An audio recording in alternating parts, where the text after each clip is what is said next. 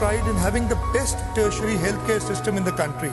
Sindh government started free ambulance service in 2017 under a public-private partnership named as Sindh People's Ambulance Service, which carried out its operation in Karachi, Thatta and Sujawal with a fleet of 85 ambulances till 2021. It was later transformed into Sindh Integrated Emergency and Health Services under the umbrella of the Health Department.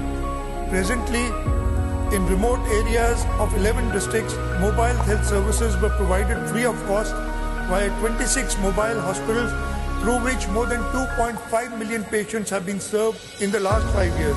The Jinnah Postgraduate Medical Center, the National Institute of Child Health, and the National Institute of Cardiovascular Disease combined have more than 4,000 beds today. 3.5 million patients benefited from the free of cost service. Total budget of these three hospitals has been enhanced to rupees 25.75 billion from rupees 1.9 billion in 2013 when these hospitals were transferred to the provincial government.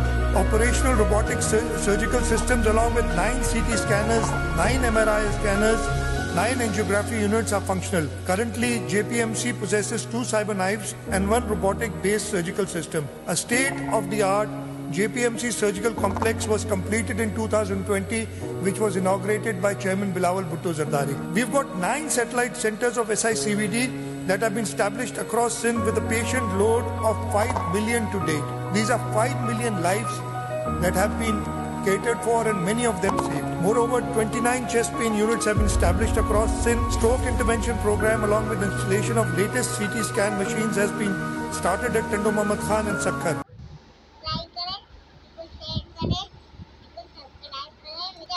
करें like करें share करें